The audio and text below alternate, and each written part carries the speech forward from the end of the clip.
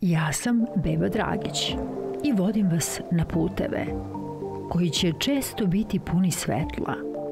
Neki će izgledati kao da nemaju kraja, a neki će vam delovati kao raj na zemlji. Svaki od njih vodi vas baš tamo gde treba da stignete. Ono što je sigurno, nikuda nećete stići ako se ne pokrenete.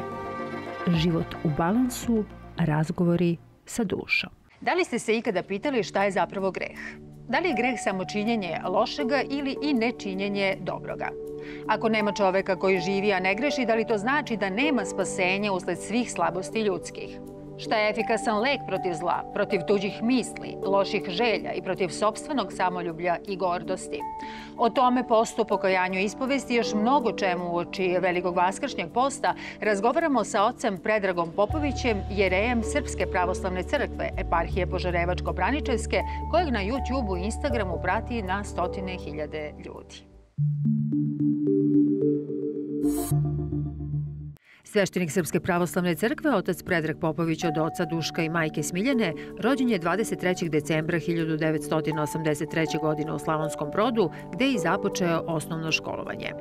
Ratna dešavanja početkom 90. godina primoravaju njegovu porodicu na preseljenje u Vrnjačku banju gde pohađa osnovnu školu, srednjoškolsko obrazovanje stiče u Kraljevačkoj elektrotehničkoj školi, a nakon toga upisuje Bogoslovski fakultet u Beogradu. Oženjen je Ivanom i otac troje dece, Teodore, Petra i Pavla. Službova je kao veroučitelj u raznim osnovnim školama, a u čin jereja biva rukopoložen 2012. godine, nakon čega dolazi u svoju prvu parohiju Rakinac sa radovanjem opština Velika Plana, gde je tokom šest godina službovanja ostavio veliki trag. Otac Predrag uveden je i u suvereni vojni viteški red Zmaja, pod pokroviteljstvom princa Vladimira Karadžorđevića. Od 2018. otac Predrag služi pri crkvi svetih apostola Vartolomeja i Varnave u Velikoj plani, a starešina je crkve Vaskrsenja Svetog Lazara četvorodnevnika.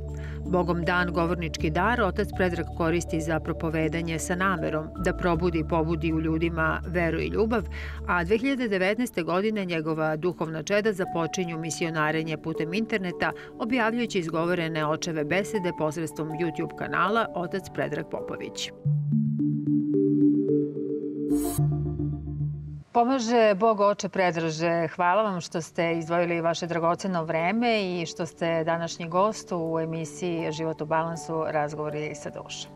Bog pomogo i zadovoljstvo mi. E, vi ste veoma, veoma zanimljiv i inspirativan govornik i mnogo vas ljudi prati na, na vašim društvenim mrežama, na stotine hiljada, što na YouTube kanalu, što, što na Instagramu. Međutim, e, ja bih volala za početak e, da saznamo nešto malo više o vama, odnosno gledalci emisije koji to nisu imali nekada prilike. Vi ste rođeni u Slavonskom brodu, tamo ste odrastali i proveli jedan deo detinjstva. Umakli ste pred e, ratnom stihijom. Na koji način je to vas zapravo dalje oblikovalo? Što kao čoveka, što u veri? Pa, niko od nas ne može da bira kada će se roditi i gde. I raspolažemo sa tim vremenom koje nam je dato. Pogotovo jedno malo dete, gledaš šta rade odrasli, pokušavaš da nađeš neki smisao u tom besmislu, u tim igrama bez granice. Ali ja sam kao dete uvek bio nekako veseo i, i, i raspoložen i uvek sam gledao, pa čak i sada, život sa vedrije strane. Ono, za mene je čaša uvek bila polupuna. I iako je bilo dosta ružnih momenata, ne samo u mom životu, nego u životu svih ljudi sa kojima se susrećemo, nekako se to prebrodi kada porodica ostane na okup. Ono što pamtim jeste prvi razred u Hrvatskoj, da sam tada imao veronauku tamo, srpsku pravoslavnu veronauku. Jedini sam đak bio u školi koji je išao na tu veronauku Srbin. Posle smo prešli, moja baka je živela u Vrnjačkoj banji i deda od majke. Oni su 70. godina iz Slavonije došli u, u Srbiju. I ovaj, Prešli smo u Vrnjačku banju, otac je otišao na front i tako je počela jedna pustolovina ovde u Srbiji. ono što me definisalo u tom nekom pogledu jeste da sam se ja kao mali uvek pitao negde gde je moja kuća, gde je moj dom. Jer kad se rodiš negde, imaš utisak da je to Međutim, neko te otero odatle, rekao ti da to nije tvoje, da ti nemaš pravo na to. I onda prihvatiš donekle, ali se ostane pitanje, a gde je onda? Imamo svetog Porfirija, jednog velikog svetitelja, Kavso Kaliviti, to je, da kažemo, red, znači pali kuća. A, kada se navikne na jednu kuću ili navikne se na jednu kolibicu koju napravi, on je zapali. I tako ide dalje, da se ne navikava ni na šta što ovaj svet ima da ponudi. Tako sam i ja, samo što ja to nisam radio svojevoljno, već su drugi u stvari palili kuće tvoje i tako te gospod naučio da je tvoja kuća gde je tvoja porodica, gde si ti, gde je gospod s tobom i da je cela planeta u stvari tvoja. Na koji način ste uh, smogli uh, snage i da kažemo dubina u veri da sve to zapravo i oprostite? Pa znate kako, kad je oproštaj u pitanju, imamo dve strane, kao i u svemu.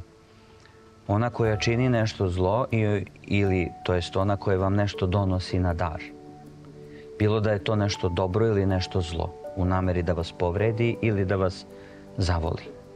A na vama je da odlučite šta ćete sa tim raditi.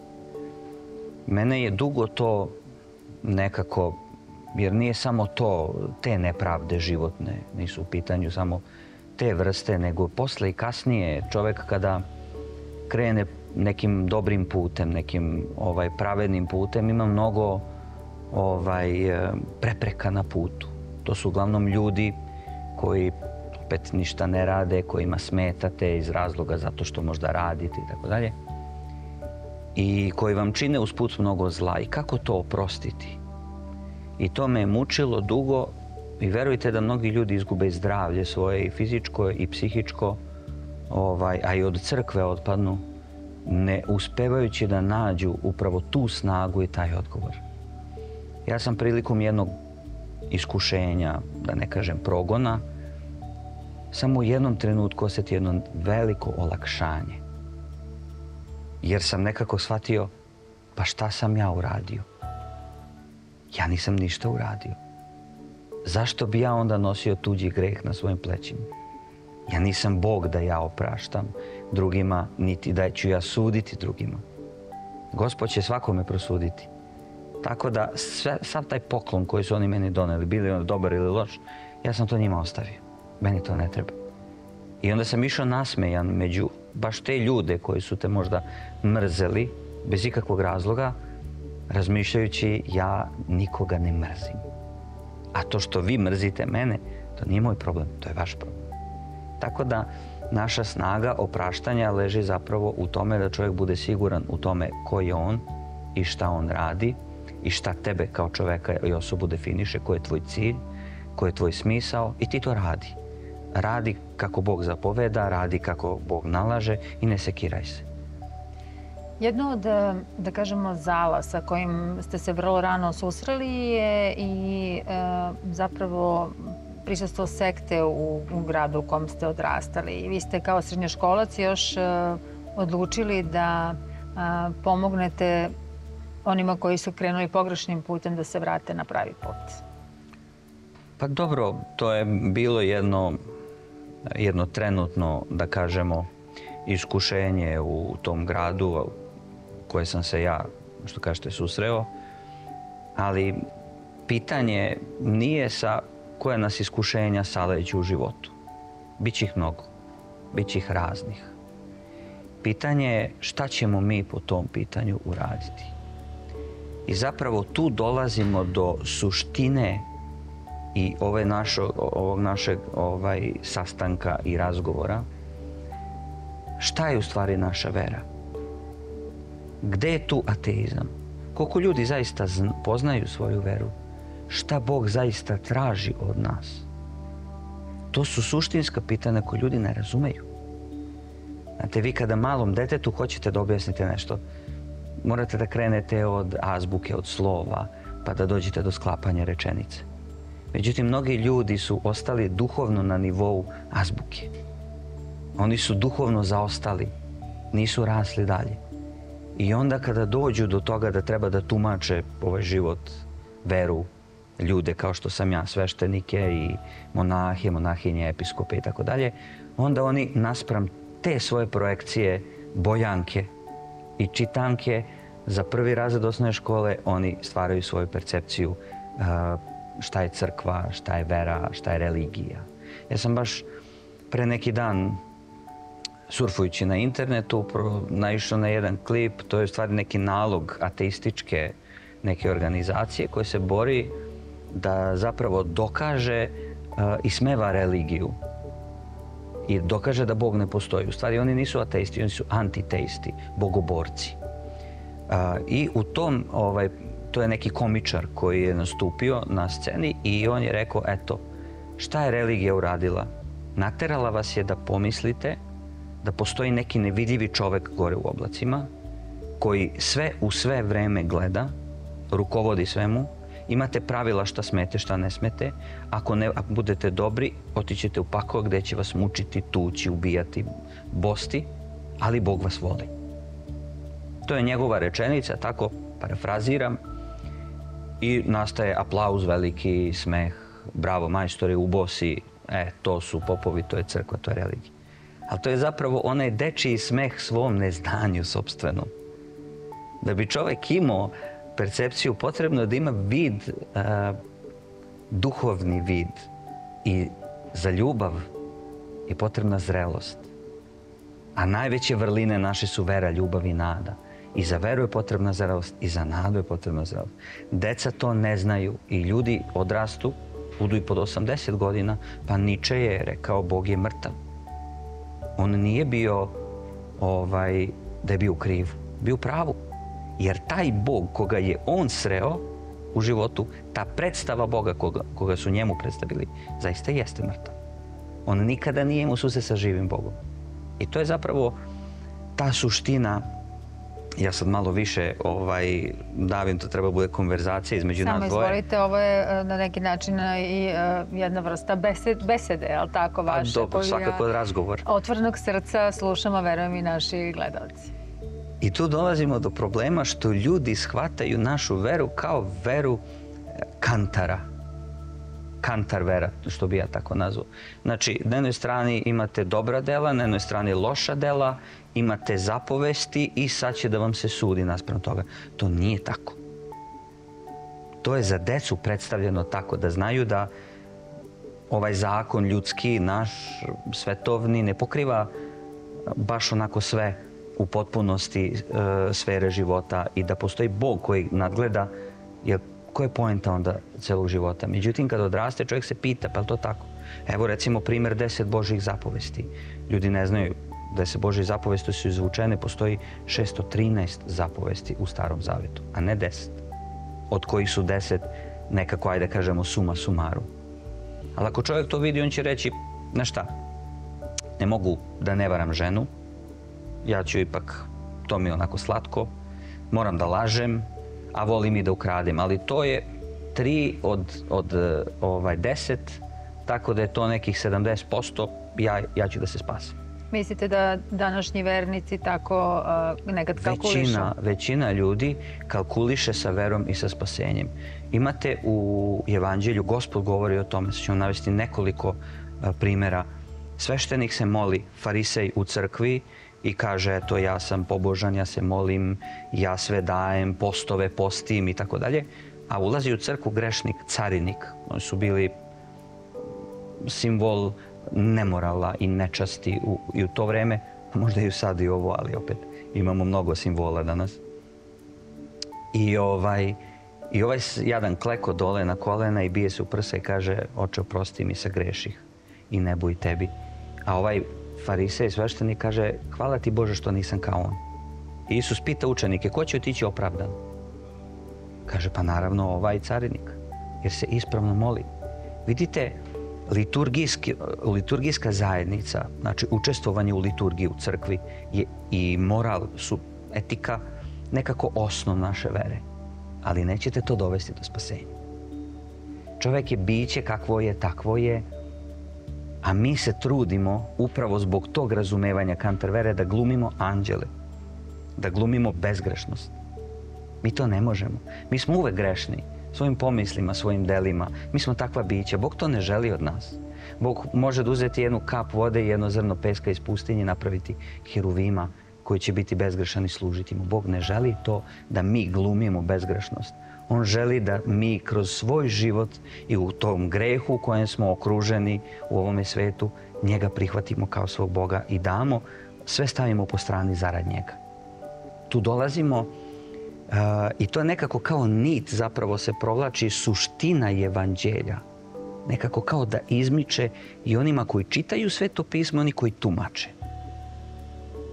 Nas Bog nije poslao na zemlji ovde na zemlju, da mi grešimo i ne grešimo. Da mi ne izbijamo iz crkve. Nije on nas poslao ovde da mi budemo bezgrešni i, i u nekoj molitvi i u nekom posebnom vrsti podviga odbačeni od svih. On nas je ovde poslao da radimo. Da budemo upošljeni. U evanđelju imate priču o sejaču i semenu. Sejač ide i baca seme. Dakle, radiš. Imamo priču o vinogradarima, gde gospodar je došao i posao sluge u vinograd da rade u vinogradu. Jedan je došao ujutru, jedan je u podne, jedan naveče, a jedan pred kraj radnog vremena. Svi su dobili istu platu. Svako ko je radio u tom vinogradu dobio je platu, a to je spasenje. Imamo priču o talentima, kada dolaze gospodar, stave trojicu ispred sebe, jednom da jedan talenat, drugom tri, a trećem da pet talenata i kažete idite, radite, umnožite to. Nas je Bog ovde poslo ne da ispovedamo greh, šta valja, šta ne valja, šta je greh, šta nije greh, nego da ispovedamo veru, ljubav i nadu. Nekako stiče se utisak da u Srbiji naročito značajno kod toga da je rad osnova, osnova svega, da se najpre i najviše gledaju uh, u kalendaru crkvenom dani kada se ne radi. E, da li je zaista toliki greh raditi nešto kada je crveno slovo u kalendaru ili je to nekako naše opravdanje za nerad? O, to je pitanje ko, kokoška i jaje, šta je starije. Znači to sad Ako kažeš da možeš da radiš nedeljom, imaćeš problem. Ako kažeš da ne možeš da radiš, imaćeš problem. U suštini, u toj zapovesti o radu i neradu imamo evanđelje o trganju klasija u subotu kada su učenici Hristovi bili gladni pa su trgali kukuruz. To je, se smatra radom fizičkim, da bi jeli. A gospod ih ukorava, kaže, lice meri jedni. Onda imamo kada leči slugu u subotu. Ta subota kod jevreja je bilo kao danas nedelja. Mi praznujemo nedelju zato što je to dan vaskrsenja. Oni su imali subotu. I, ovaj, i čovjek je bio vezan, žena je bila vezana satanskim, da kažemo, lancima. Bila je obuzeta đavolom 30 godina. Svi su prolazili pored nje. I ti sveštenici, i molitvenici, i ti elitni, ne znam, ljudi tog doba došao Hristos i stavio sred hrama i iscelio pred svima. Da bi, I onda su svi ga napali kako to sme u subotu da radi. I on ih naziva licemerima, kaže, odrešujete li vi vašeg vola, magarca, i vodite na, da pije vode? Jel nije trebalo ovu kći Avramovu odrešiti od, od sveza sataninih? Onda, znači, šta je ispravno? U toj zapovesti se kaže, radi, šest dana radi, svrši sve svoje poslove a sedmi dan posveti gospodu Bogu tvome. Znači, radimo ponedeljka do subote, subotu završavamo što imamo u nedelju, idemo u crkvu na liturgiju. I onda kada dođeš kući, normalno posvetiš vreme porodici. Ako uzmeš sa svojom porodicom nešto i uradiš, nekad znate šta kako se pravo veš nekada. Tu si mora da zagreješ pored, da, da staviš lonac, da ceo dan mešaš to, da odkuvavaš, da ribaš, da trljaš. I onda kaže, nemoj, danas je crvena slova, nemoj da radiš to. Ima. Sad, vi sad ubacite veš u mašinu, uključite dugme i odete u crkvu. Zašto je to greh? A kažite, koja je zapravo uh, veličina i značaj liturgije za one koji, koji to ne znaju i smatraju uh, je ne previše neophodnom, a jesu verujući? Da. Mnogi se danas u svetu nazivaju hrišćanima. Hrišćani su oni koji slede Hrista apsolutno u svakoj njegovoj misli, reči i delu.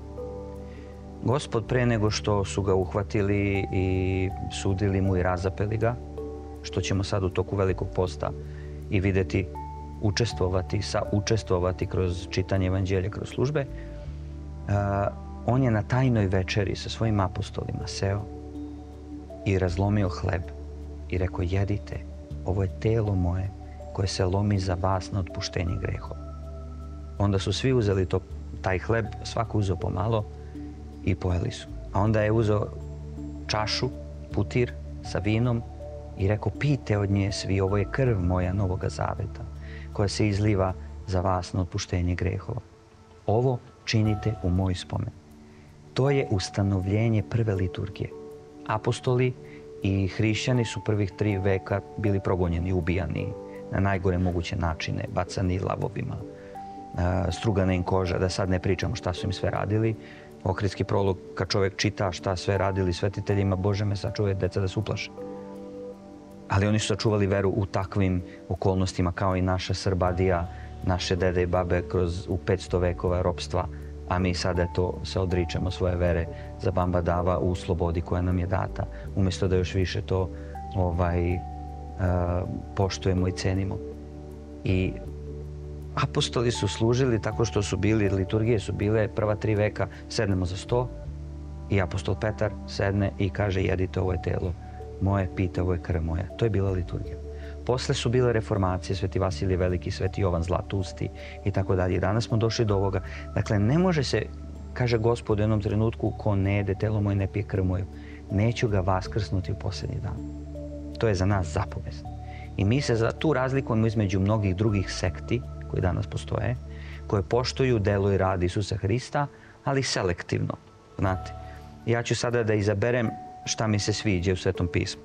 Ovo ću, e, ovo, vidiš šta priše ovdje. E sad ovo ću da preskočim, to mi sad baš ne odgovara. Ne može tako. Znači, Hristos nas je pozvao na liturgiju i tu mi do, to je liturgija je ikona Carstva Božije. Tu su Otac, Sin i Sveti Duh. Tu smo svi sabrani. Ja dođem sa mojom suprugom, mojom porodicom, s mojim parohijanima. Pričestimo se, pomolimo se za našu pokojene, pomolimo se za zdravlje i za sve ono što nam treba u životu. Tako će biti u Carstvu Božje. Uoči smo velikog vaskršnjeg posta. Vi ste jednom prilikom izjavili da je to poput jednog duhovnog maratona. Šta zapravo post podrazumeva? I šta podrazumeva potom i, i e, pričest, ispovest i sve ono što e, sledi u narednim danima? Pa, kliše bi bio da kažem da post nije samo telesno uzdržavanje, nego i duhovni podvizi i tako dalje. Postavljaju se, mnogi su danas postavili pitanje da li vegani ili vegetarijanci stalno poste, onda kažemo nije to isto, moramo da se molimo, a, a šta ako se oni mole non stop, da li onda oni su isposnici ili nisu. Post je vreme, kao što rekoh, taj maraton, za neko sozercanje svog života. Kao što ste me malo prepitali o mom detinstvu, e, možemo da razgovaramo i o mom jučerašnjem danu, o vašem, da vidim da li sam ja to dobro uradio, da pojačam molitvu, da malo nekako sebe više ovako uh, ukorim, da ne dozvolim svojim strastima da se namnože. Znači, post mu dođe kao neka vrsta jednog perioda kada više zađemo u njivu, u, u njivu duše naše, u voćnjak, taj, u taj povrtnjak i krenemo malo više da plevimo ovaj taj korov u nama. E, ispovest jeste upravo ispovedanje onog lošeg što smo mi učinili. Ali post nije samo to.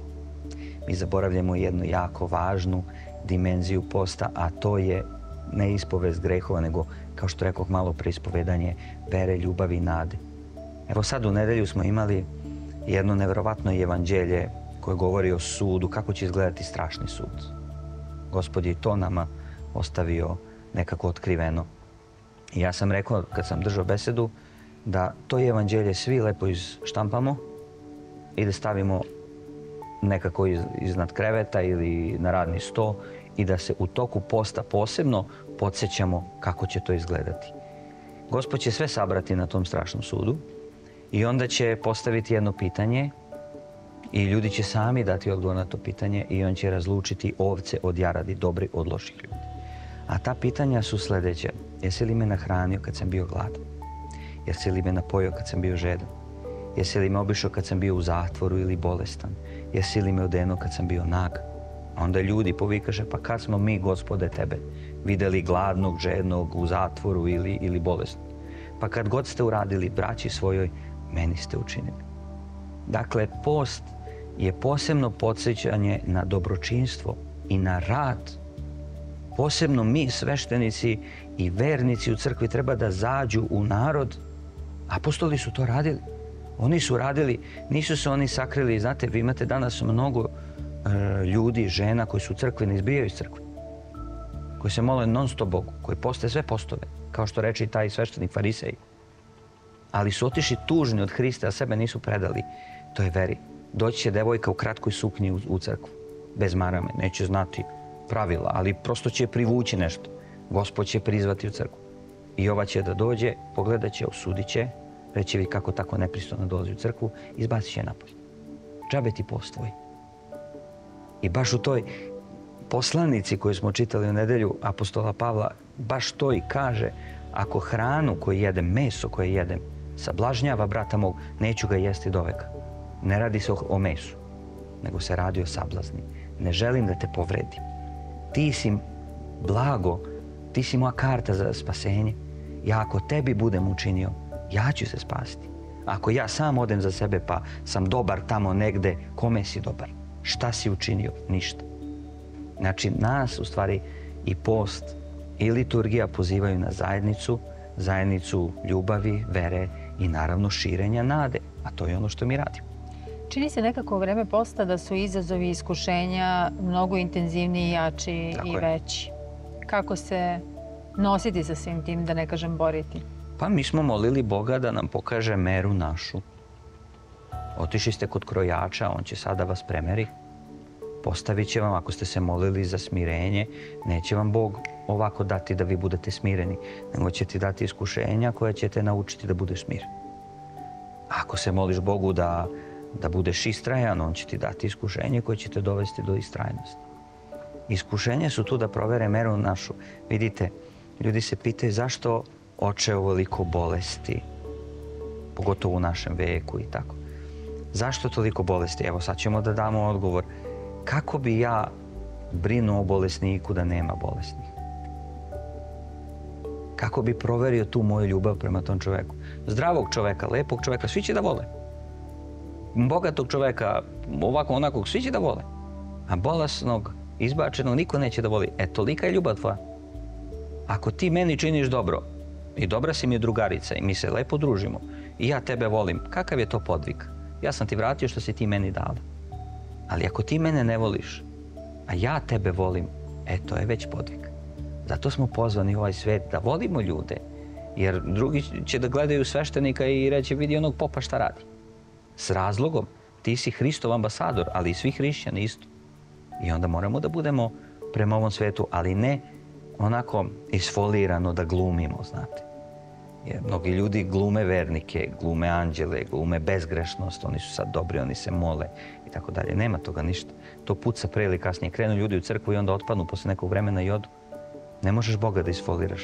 Budi zaista to što jesi i najbolji kakav jesi a ljudi se zapravo boje da rade to što su radili apostoli. Zašto? Da ne bi pogrešili. Šta ima loše u tome da neko nešto pogreši? Nije pogrešio samo neko nije radio. Ti ako radiš na tom, u tom voćnjaku i vinogradu Božjem, pa ne znaš baš posao, pa Bog će tebe da, da nagradi jer si se trudio. Ali ako si znao šta treba da se radi, a digo si sve četiri u vis, druže, ima za uši, tu vatite izbacio. Pričamo o tome da e, Bog, e, što bi rekla Mira Bobić, ne voli e, bezgrešne u jednoj od emisija, da li mi dajemo stvari za pravo onima koji nas gledaju da kažu pa dobro, evo učinit ću nešto za svoju dušu i otići u bilo kakav oblik strasti i onda će mi to sve Bog oprostiti ako odem, pomolim se, postim i pričestim? Pa pričali smo o tim kalkulacijama i tim neiskrenostima u sebi. Ja se nisam odrekao nekih stvari da bi bio sutra sa Bogom. Niti će mene Bog da primi u svoju zajednicu sa sobom zato što ja recimo nisam jeo meso ili nisam prevario ženu ili, ili ne znam ti ni ja šta sve ljudi danas smatraju ovaj, kao podvige. Nego zato što sam upravo to radio, zato što sam bio njegov saradnik na zemlji. Zato što sam bio on na zemlji. Vi ste svetlost ovome svetu. Kaže gospod, ne može se sakriti grad koji na gori stoji. Niko ne stavlja sveću da mu osvetli mrak pa stavi sud. Pitali ste me za iskušenja, eto, baš su kod te sveće. Kad iznesemo sveće napolje uh, u sred dana, hoće li osvetliti nešto? Neće ništa. Ali kad padne mrak, onda će svetlost da da izražaj svoj. A što čovek više svetli, više senki baca. I zato će više da te proganjaju, zato što će više da te muče. Ali to tebe ne, ne treba da, da boji na neki način, da ti strahuješ šta će reći ove ili one. Ti radi svoje. Ti radi svoje, kreni prema gospodu. A oni nek vide šta će sad svojom mržnjom. To sam baš htela da vas pitam. Kako ka, kao verujući ljudi da e, se suprotstavimo onima koji nam ne misle dobro, oni, onima koji nam ne čine dobro e, i ne samo u odsustvu nečinjenja, nego u prisustvu činjenja njihovom ka nama. Na koji način da se odbranimo, na koji način da se zaštitimo, kako da reagujemo u takvim situacijama. Kako da se suprostavimo onima koje nam misle zlo, pa tako što im se nećemo suprostavljati. Jer to znači konflikt. On je došao u nameri, recimo, da vi šetate sa vašim mužem i sad imate neku kolegu koji će doći i reći će pred vašim mužem kako nam je bilo lepo juče, baš smo se lepo slagali, smeli, namerno ne bili naprave njega ljubomorno i bacio kosku između vas. Imate mnogo, mnogo ovih, kako se zove, iskušenja i podlih ljudi koji su u stvari mrak u vašem životu koji proveravaju svetlost. Kada neki čovek napravi neko zlo vama, vi ćete proceniti videti da li on to uradio namerno ili iz slabosti svoje. Ako je on uradio namerno, vi ćete ga upozoriti.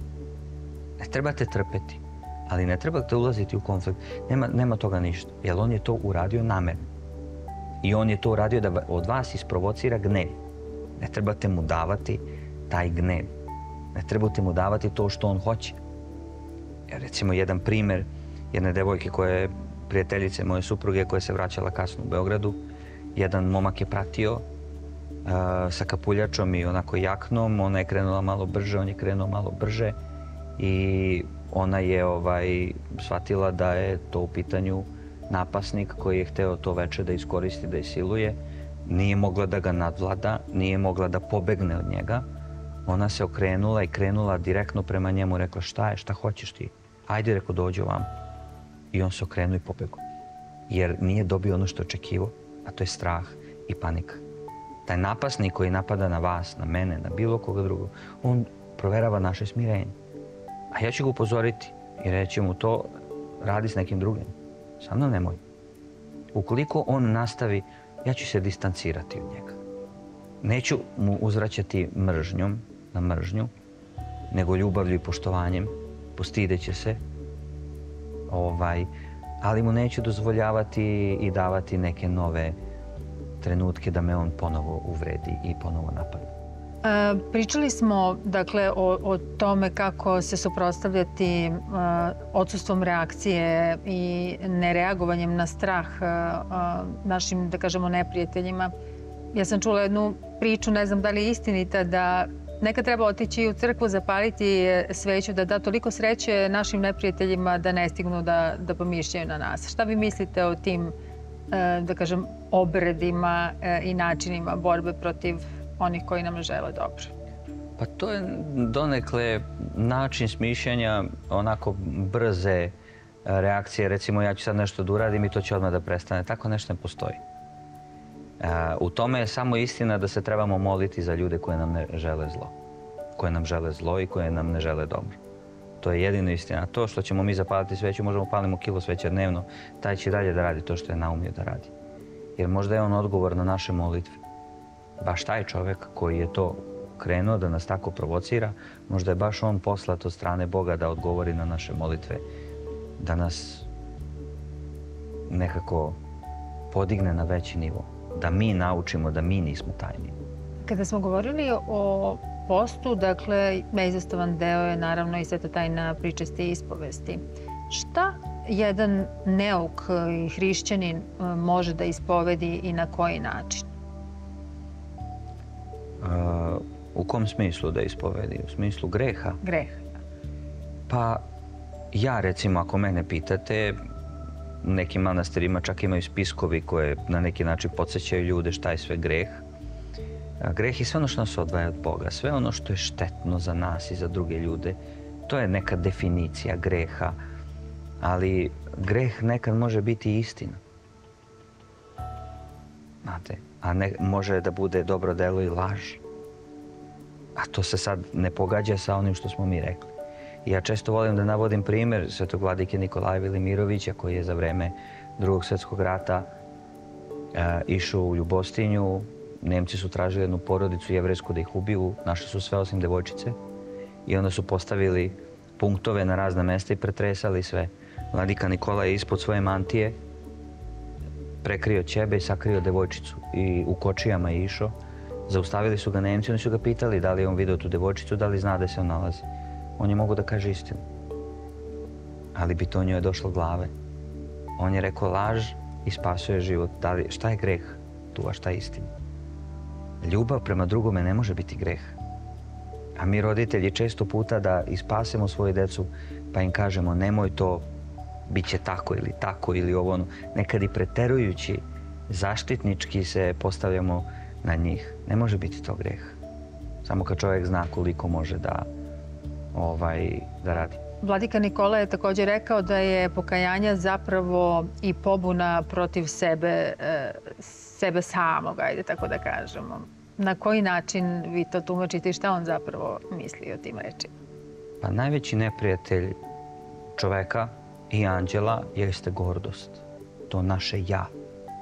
Gde mi mislimo da smo mi sunce celog ovog univerzuma. Apsolutno da je sve podređeno nama i da svi moraju da postoje tu nas radi. E, ako tako budemo gledali u ovom životu, mi ćemo biti osakaćeni za zajednicu, za ljubav, za veru, za nadu. Jer svaki put će nas povrediti neko ko nam ne da ono što mi očekujemo. Kada čovjek sebe spusti i shvati da ste vi glavna junakinja vašeg života, onda neću ja više u vama gledati sporednog lika, već ću ja biti sporedan lik u vašem filmu, životnom filmu. I gledat ću da vam pomognem što više mogu. Da budem dobar karakter u tom vašem životnom filmu. Mnogo je važno učestvovati u drugim životima, raditi na tome, a to gord čovek ne može. E, sebičnost, kaže imamo tri mudre sestre i tri lude sestre. Strah, sebičnost i očajanje – To su te tri mudre, lude sestre koje vladaju ovim svetom. Ljudi se mnogo boje sada u poslednje vreme pogotovo. A, mnogo su sebični, od toga se rađa zavist, zavidni su na tuđi uspeh i mnogo depresivni, upadaju u očaj, nema nade nigde i sve to. Te tri lude sestre pobeđujemo upravo sa te tri najveće mudrosti, u stvari hrišćanske vrline, a to su vera, ljubav i nada. Vera pobeđuje strah ja sam došao ovde, ja sam čoveka jednog skoro ovaj, ispovedao i on je rekao, oče, ja ću umreti ubrzo. Ja mu kažem, rekao, to se ne zna ko će pre umreti, jer ti i ja imamo samo danas. Nemamo sutra, dok ne svane. Mnogi ljudi umiru u ovome trenutku. Ja sam u posljednje vreme mnogo mladih ljudi sahranio. Niko, a oni su imali još života. Za, dakle, živeti svaki dan kao da je posljednji unositi veru koja tera strah, ljubav koja tera sebičnost i nadu sebi i drugima da ćemo biti uz gospoda. To je jedini način da se rogovi ljudski, egocentrični, egoistični, gordi srežu. A svih imamo. I oni niču redovno. I treba ih redovno kratiti.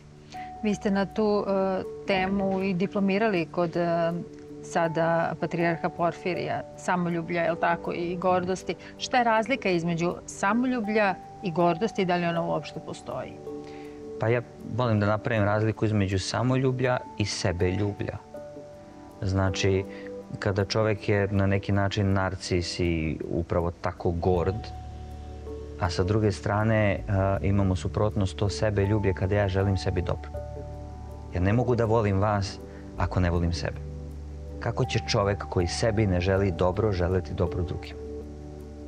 Znači, počinjemo ljubite druge kao samoga sebe. To je zapovest Novog Zaveta uh, Hristova koja nam je dao.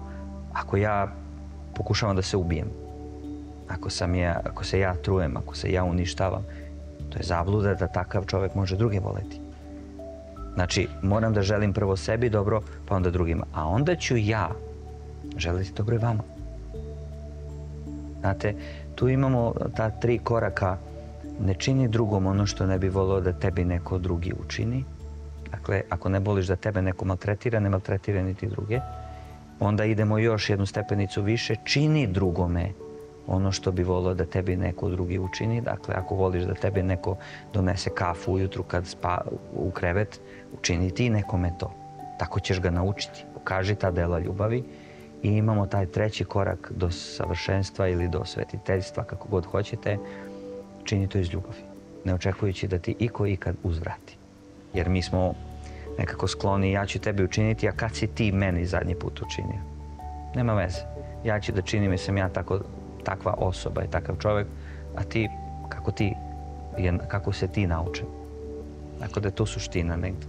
Govorimo dosta o životu u, u trenutku, jer svakako radimo dobro nadajući se životu večnom. Um, šta je to što je najbolje za našu dušu, a što možemo da uradimo u ovozemaljskom prisustvu?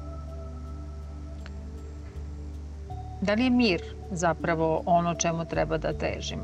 Mir je tek posebna priča. Ljudi smatraju da je mir ima veze sa okruženjem. Verujte mi da, mislim, šta čovjek treba da bude smiren kad je u šumi, kad mu sve lepo, kad je ovako more oko sebe. Mislim, to nije mir. Mir je kad si ti u sred Beograda, kad si na semaforu, kad ti drugi trube, kad ti se pokvari auto, a ti stojiš, kasniš na posao ovde, onde i ti tak treba da zadržiš mir. Kad ti se komšija parkirao ispred, ne možeš da izađeš, on otišao, ostavio auto. Tad treba čovjek da bude miran i smiren. A, šta čovjek može da uradi sebe za svoju dušu? Pa prevashodno da bude iskren. Da znam ko sam, da se ne foliram, da ne lažem ni sebe ni drugi. I da krenem odatle. Ja sam taj što sam, idem na liturgiju, to je jako važna stvar. Da čovjek postane liturgijska ličnost, da živi za tu nedelju. Pa zar mnogo traži Bog taj jedan sat nedeljno da se ode na liturgiju? To mnogo, a svaki sekund nam je dao da preživimo. Kažem, ja sam sad došao kolima, rizikovao sam svoj život. Ni sam nisam svestan koliko sam puta mogu do sada poginem. Nažalost, nama je vreme već uh, isteklo. Uh, eto, uoči velikog dakle, posta Vaskršnjeg, šta biste vi e, za sam kraj emisije poručili našim gledalcima da bi mogli da žive život u balansu, a u ovom razgovoru sa dušom? Pa sve to što su negde pročitali, negde čuli, videli, da pokušaju da u svoj život unesu i u život drugih ljudi. Samo je to dobro. Nema veze i ako padnu, nema veze i ako ne znaju, nema veze i ako pogreše. Naučit će, ustajući, ali će koračati prema dobru. Hvala vam, oče Predraže. Nadam se da ćemo se uskoro videti i nekim, nekom drugom prilikom i povodom. Hvala vama. Bio ovo otac e, Predrag Popović. Verujem da ste uživali i da ste mnogo toga što do sada niste znali ili ste pak znali pa se podsjetili, e, čuli i da ćete to primeniti u vašim životima zarad zadovoljstva, sreće, mira i spokoja. Vidimo se nekom drugom prilikom. Za kraj pogledajmo koja je njegova misao života.